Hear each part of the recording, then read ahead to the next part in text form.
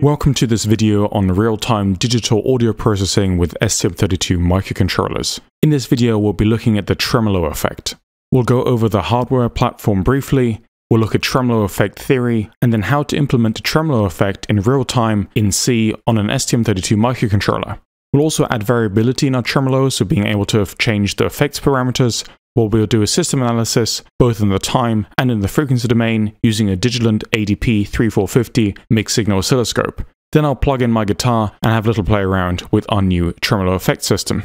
If you're new to this series of videos, I strongly urge you to watch the first and the second videos in this series. They're titled Digital Audio Processing with STM32, and the first video is the main one which gives you an introduction of the hardware and software setup, as well as shows you how to perform some basic low and high pass filtering. The second video on the channel as well is regarding notch filters. Before we continue, I'd like to give a huge shout out to Altium and thank them very much for sponsoring this video. If you'd like to try out Altium Designer for yourself, you can go to altium.com forward slash YT forward slash philslab to get yourself your own free trial. I also have various Altium Designer videos on my channel if you'd like to learn how to use this tool. As shown in the previous videos, this is the hardware platform we'll be using. This is a PCB I designed myself, containing an STM32F4 microcontroller, an audio codec, analog front ends, power supplies, USB connections, and so forth, and fairly small as you can see in comparison to this one euro coin. I fitted this PCB rather crudely into this electronic guitar pedal enclosure, so I have an input jack, output jack, various potentiometers and switches to be able to change my effects in real time, as well as a foot switch to turn this effect on and off. This PCB and pretty much all the PCBs you see on my channel were produced and manufactured by JLCPCB. If you'd like to get a similar PCB made for yourself, I'd recommend you to go to jlcpcb.com and also my GitHub repository at github.com forward slash pms67. If you navigate to my repositories, and then find the LEDSP audio system module, also I made a video on this. I provide all of the necessary design as well as manufacturing files so you can order these at jlcpcb.com. And here's the effect pedal enclosure connected with an ST-Link version 2 for debugging and programming. I have my guitar input and outputs plugged in. On the other side I have the potentiometer and switches. And I'll be using this Analog Discovery Pro with uh, oscilloscope capability as well as the WaveGen capability to do some time and frequency domain analysis. We've discussed this in previous videos, but here again is the hardware platform block diagram. I have my processor with USB and serial wire debug connection through which I'll be doing the programming. I use the ADC on this processor to measure my control signals, so from potentiometers and switches. I have various power supplies for the analog and digital sections. I have my main codec that includes my ADCs and DACs, and they stream data via I2S, which is very similar to SPI. I can also configure this codec via I2C, and of course, I need some analog front ends, which in my case are just perform a bit of filtering and impedance conversion. So I can plug my guitar in, send it through the codec, process it, and send it back through the codec, and then to, for example, a guitar amplifier. In this video, we'll be looking at the tremolo effect. And the tremolo effect is one of the most basic non-linear modulation effects Effectively, it's periodically changing the volume of an incoming audio signal, and you can hear that effect quite well on Boulevard of Broken Dreams by Green Day on the intro guitar. It's illustrated on the right here. Let's say we have a fairly high frequency audio signal, we'll call that X of N, and we modulate that with this LFO or low frequency oscillator signal G of N. So effectively, we're simply multiplying this by this signal and then getting this output signal. So you can see our original audio signal has its volume or amplitude changed or modulated by this low frequency oscillator signal. So this is nonlinear because we are performing a non-constant multiplication. The LFO signal is typically on the order of 100 Hz, maybe a bit more or less. The LFO signal can be sinusoidal, triangular, or pretty much any waveform you desire to achieve a certain effect. In this video, we'll be using a triangular waveform because this is easiest to generate and least computationally expensive. As you can really see, the tremolo effect is essentially just amplitude modulation. And here's a tremolo block diagram. Effectively, we have our input signal x of n, we have our sampled or generated LFO signal g of n, and we have an output y of n. Because we are in the discrete time digital domain, everything is sampled. So we generate our sampled LFO signal, so a sinusoidal or triangular wave or whatever you desire, at a specific LFO frequency. And again, we'll call that G of n. Our tremolo effect, we can vary either by varying this LFO frequency, but we typically also have a second parameter which is called the depth, and I've denoted this by the Greek letter delta, and the depth can be anywhere between 0 and 1. Essentially, the depth determines the strength of the effect. If delta is all the way at 1, we get maximum modulation. If the depth is 0, we get the basic audio signal at the output. In essence, the tremolo effect multiplies the incoming audio signal with the LFO signal using this depth parameter to vary the strength of the effect and make sure the output is bounded between minus 1 and plus 1. So as you can see here, these are constant coefficient gain blocks. If delta is 1, this block goes to 0 and this block goes to 1. So all of our input signal is fed into the multiply block and multiplied with the LFO, and then passed to the output. On the other hand, if delta or depth is 0, this block goes to 1 and this block goes to 0, and we get no multiplication with our LFO, and all of our input signal x of n is then fed to the output over here. We can summarize this block diagram in a very, very simple equation. Effectively, our output at sample n is our input x of n at sample n times this function over here. So we simply have this 1 minus delta term as a constant multiplied by x of n, and we sum that with x of n times delta, our depth, times our modulating LFO signal g of n. So essentially we have these two terms here, one with just the pure audio signal, and one with the multiplication of the audio signal and the LFO signal. And this is really useful and very simple, and this is all we essentially have to implement in software. The question, however, is how do we create the LFO triangular waveform? So I've opted for a triangular wave because this is very simple. We don't have to compute, for example, sines or cosines, and this gives a pretty nice tremolo effect. The easiest way in my eyes to generate a triangular wave is simply use a counter. The way we do that is I've chosen to use my counter period to be a quarter wave period. So if we start our wave over here at zero, our wave repeats when we get over here. So we've done one cycle. Our counter then simply counts from the start of the wave to a quarter cycle of the wave. Using this information, we can then compute a constant called the counter limit. And the counter limit then is simply a quarter of the sampling frequency divided by the LFO frequency. All that we then have to do is count up from zero to that counter limit. Once we've hit a peak, we can count down the counter limit to zero, and then count the negative counter limit, count to zero, count the positive counter limit, count to zero, and so on. And this is summarized in this block over here, kind of in pseudocode. We have a counter variable starting at 0, and we also have a counter direction variable starting at plus 1, so we're counting from 0 upwards. Every time we trigger this effect or want to create a new sample, we simply increment the counter. If we hit the counter limit, for example the top here, we change the counter direction and count down. Once we hit the negative counter limit, so down here, we simply have to change the counter direction and count up again. And this is then all we need to create our triangular wave. We can now move over to STM32Cube IDE and see how this is implemented in the C programming language. Here we are in STM32Cube IDE and the main place where I program my STM32 microcontrollers. I've created a tremolo.h header and tremolo.c source file, and we'll go through them step by step to see how we've implemented this tremolo effect. I have my tremolo effect struct over here, where I store the tremolo depth because we'd like to vary this.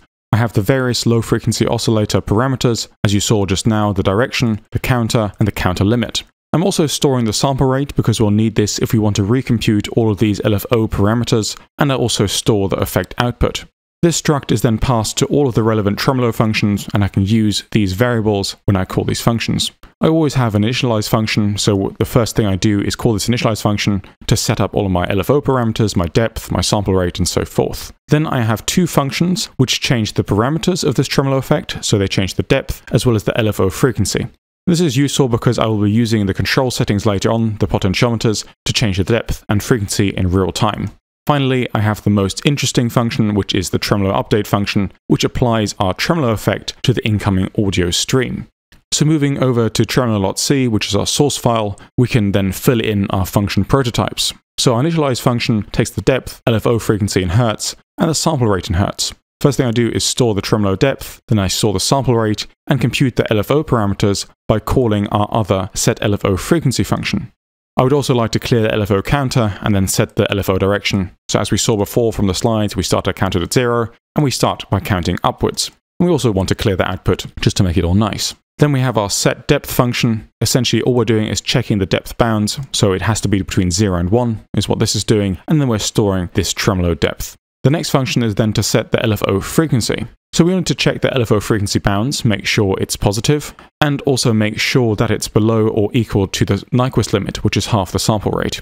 Then, as we saw from the slides, we can compute our counter limit, so our maximum counter value, based on the desired LFO frequency, and that is simply a quarter of the sampling frequency divided by the LFO frequency. And this is all I'm doing here.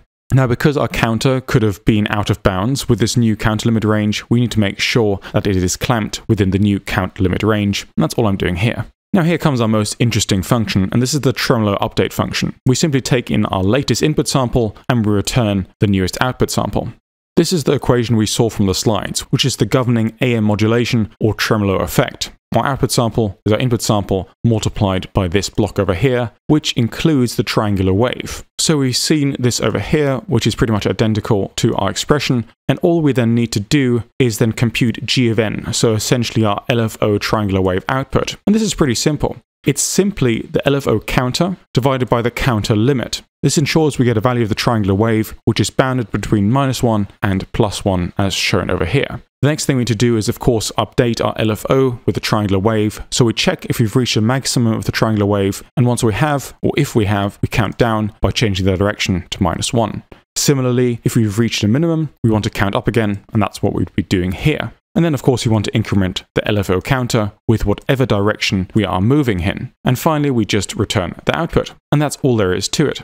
We've seen the whole setup of main.c in the first and second video. All I have to do is include my tremolo header. I have various parameters which I can set. For example, what the maximum depth can be, what the minimum LFO frequency is, and I've set that just to be about 20 hertz. And the maximum LFO frequency is essentially 1000 plus 20 hertz. We have to declare our struct, and in our processing function, when we go through all of the input audio data, we simply have to call our update function to compute the newest output sample. Of course, we have to initialize our effects calling the init function, and this happens in int main. As before in the previous videos, every time we have control settings ready, so we've read the potentiometer values, we'd like to update the effect parameters. So one of my potentiometers controls the depth, and this is varied between 0 and 1, again using the set depth function.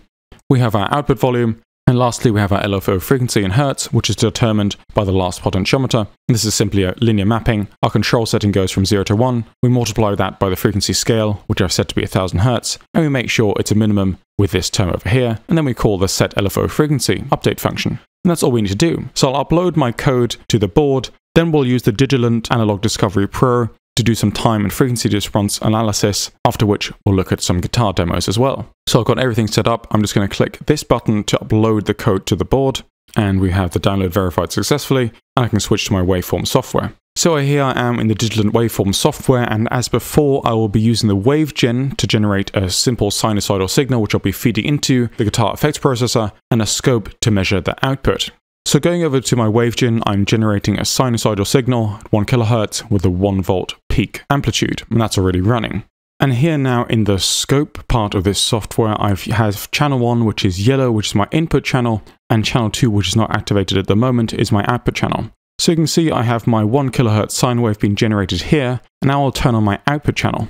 As you can see here, we have the sine wave, which is our simulated audio signal in the center, but it's being modulated up and down. So let me just change the horizontal timescale. And you can see in here, we have the high frequency sine wave, which is at 1 kilohertz internally, so our simulated audio signal. And we have this envelope, which is this triangular wave on the outside. So this looks like it's working with our amplitude modulation. I can play around with the depth setting first of all, so let me just decrease the depth. And as you can see, the triangular envelope is now decreasing. I can turn it all the way down and that gives us simply our sinusoidal audio signal. And then I can turn it up again to increase our depth. And as you can see, we're getting full modulation, if not over modulation, like so.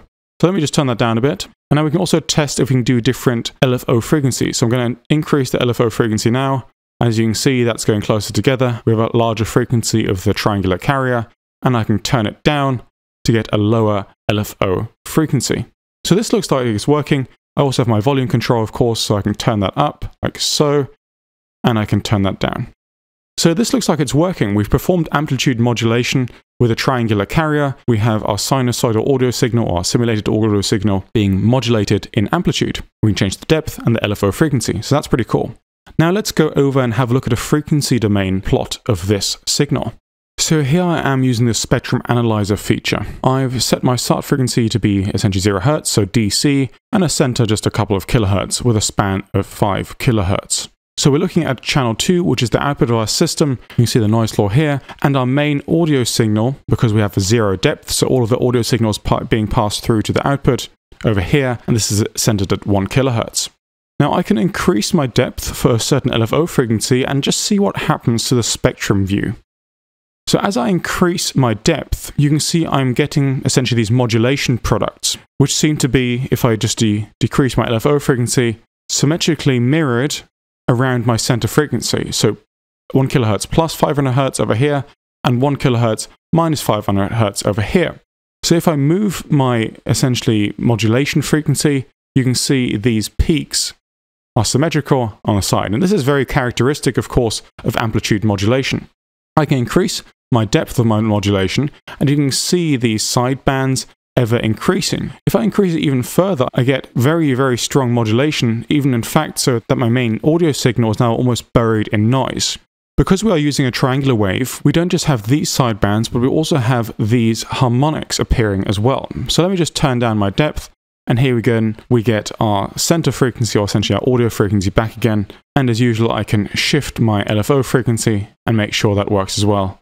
And you can see all of the harmonics, the harmonic content moving around as well as I change the depth and the frequency. And this again shows that because we are generating new frequencies, this is a non-linear effect. With simply linear filtering or linear processing, we cannot generate new frequencies. So this is a quite nice little demonstration. But it looks like everything's working, so now let's plug in a guitar and see how this tremolo effect sounds. So here I have the code uploaded. I have my LFO frequency can now be varied between about 1 and 20 hertz. So this of down here is my LFO frequency, this is my depth, this is my volume control. So right now I have my depth essentially fairly low, if I can play with a guitar. It's fairly clean. So if I increase my depth, let's say, I don't know, to about 75%,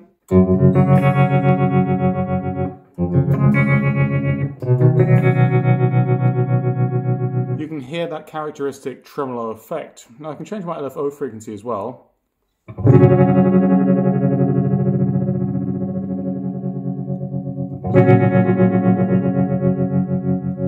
Fairly slow,